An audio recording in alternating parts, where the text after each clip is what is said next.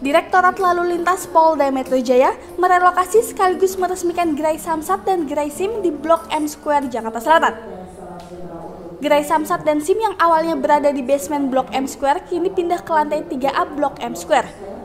Di Lantas Polda Metro Jaya, Kombes Pol Yusuf mengatakan dengan adanya gerai Samsat dan SIM ini semata-mata bertujuan untuk memberikan pelayanan terbaik kepada masyarakat. Ini semata-mata adalah untuk memberikan pelayanan terbaik kepada masyarakat atau strike for excellent.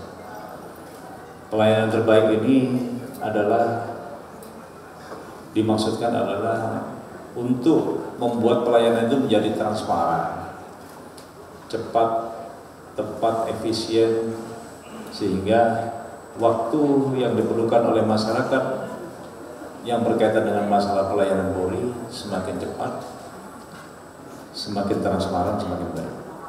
Ini adalah salah satu wujud daripada program promote ya, profesional, modern, dan percaya. Wakapolda Metro Jaya Brigjen Pol Wahyu Hadiningrat menyampaikan amanat Kapolda Metro Jaya bahwa Gerai Samsat dan SIM ini merupakan bentuk keseriusan Polda Metro Jaya dalam mewujudkan program nawacita Presiden Republik Indonesia Joko Widodo dan promoter Kapolri yaitu pelayanan publik yang lebih mudah dan berbasis teknologi. Gerai Samsat dan Gerai SIM ini merupakan bentuk keseriusan Polda Metro Jaya dalam mendukung program Nawacita Presiden Joko Widodo dan promoter Kapolri, yaitu peningkatan pelayanan publik yang lebih mudah bagi masyarakat dan berbasis teknologi informasi serta menciptakan tata organisasi yang bersih, transparan, dan akuntabel.